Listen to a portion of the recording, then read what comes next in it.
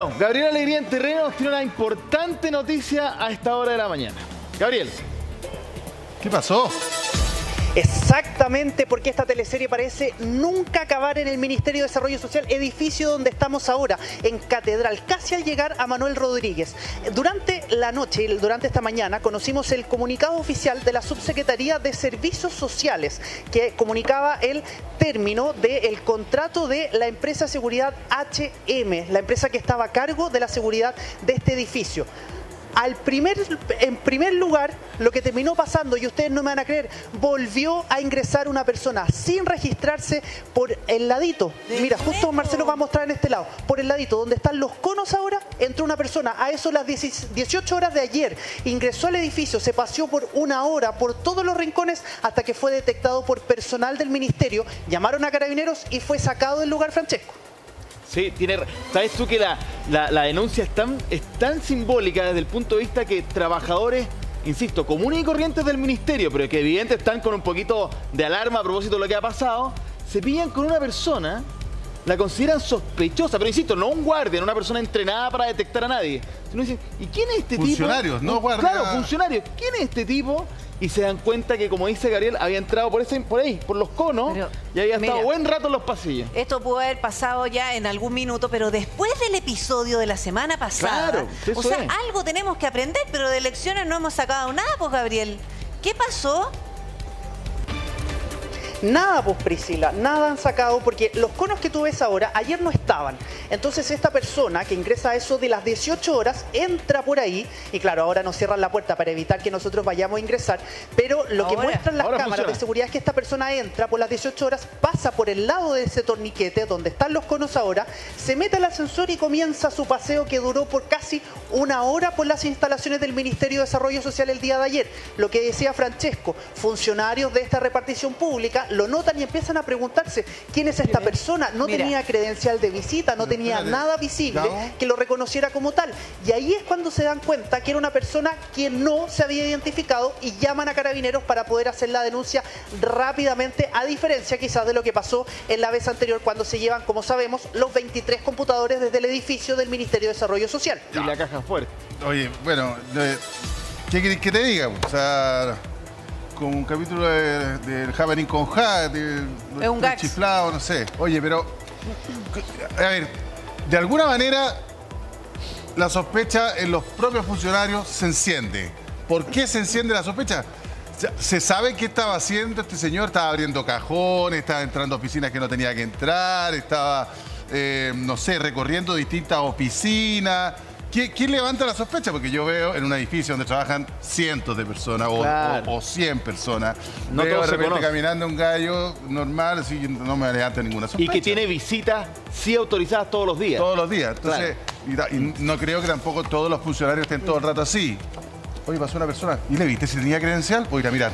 No creo. O sea, o sea uno supone que después de lo que pasó la semana pasada, sí. El tema es que cuántas veces pasó y nadie se dio cuenta. Porque los sujetos que entraron a, robar la semana pasada tenían información y ponte tú que otra persona había entrado días o semanas anteriores para ver dónde estaba cada una de, de las cosas que finalmente se robaron. Oye, sí, es así de simple. Es tan burdo ese, ese robo y con la, la falencia que hay ahí de seguridad, claramente pudo haber sido Así de fácil. Así de fácil mapear el, ministerio. Pero por otro lado, eh, te preguntaba yo, Gabo, ¿qué eh, levantó la sospecha de los funcionarios. Por eso te decía, estaba abriendo cajones, estaba mirando carpetas. O solo no tenía em, la tarjeta de visita. ¿Se sabe eso?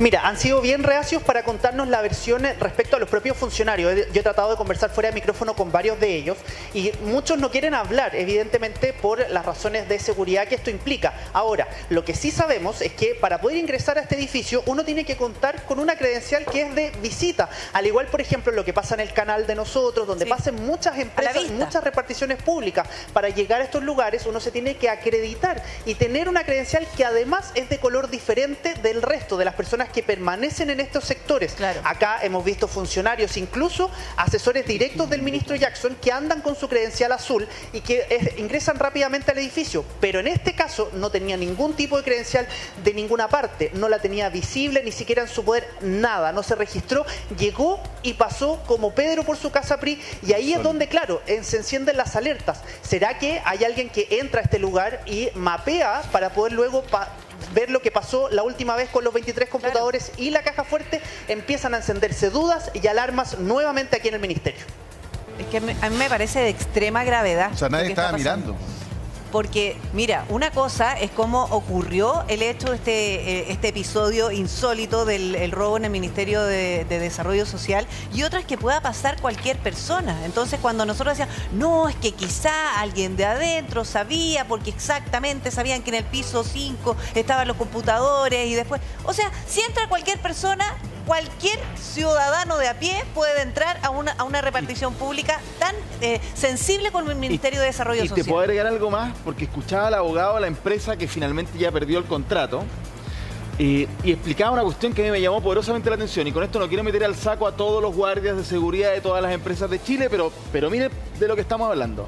Se le preguntó al abogado, oiga, pero ¿cómo es esto de, de esta llamada vía WhatsApp, pero vía eh, videollamada en la que no se veía el ministro. Hace una pregunta bien alámbica y la respuesta del, abogado de la empresa fue que si es que lo que hemos podido averiguar es que este guardia en particular no manejaba el asunto de las redes sociales ni el teléfono. No, no, no, no era muy entendido en este, en este tipo de tecnología, dice él.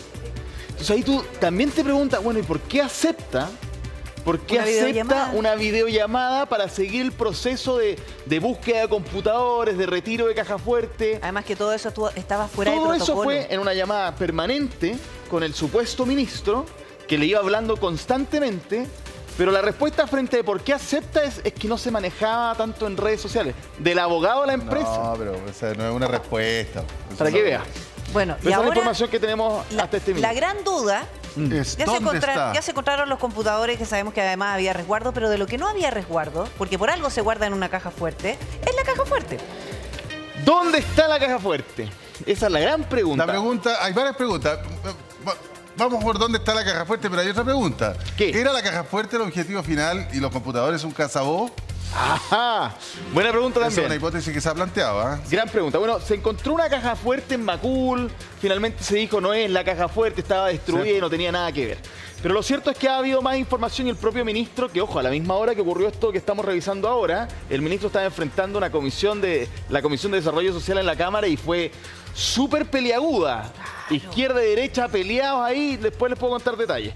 Pero hay más información con respecto a lo que había en esta caja fuerte.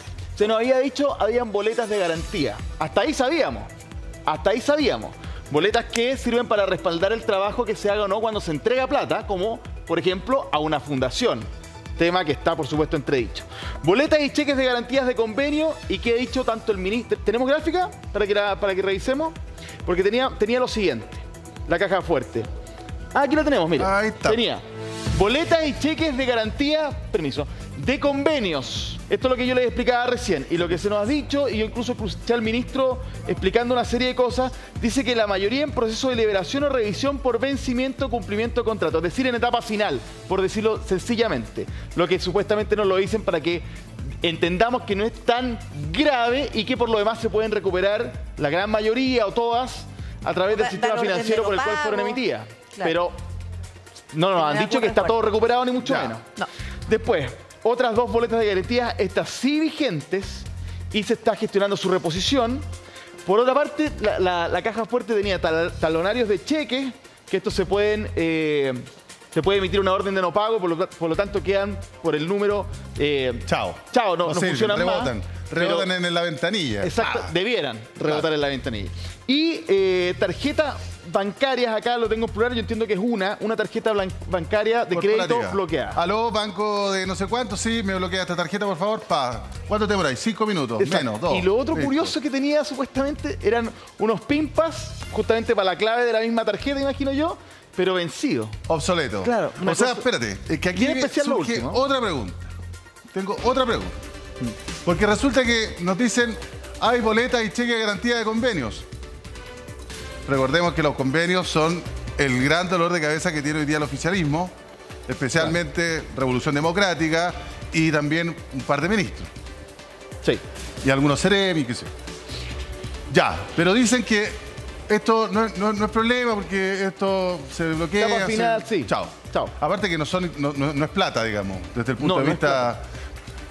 Dos boletas de garantía vigentes. Y nos dicen, no importa si total... Oye, olvídate, si esa cuestión después uno llama al banco y lo recupera al tiro. No es Eso es lo que dijeron. Talenario de chique, bloqueado. Tarjeta bancaria, bloqueada. PIN obsoleto. Entonces la pregunta del millón es, ¿por qué querían llevarse la caja fuerte? ¿O no? Raro. Entonces, porque si tú me dijeras que había 500, no sé, 100 millones de pesos guardados en... claro. Había plata en efectivo. plata en efectiva, dólares, dólares, ¿no es cierto? Había dólares, entonces era un buen botín.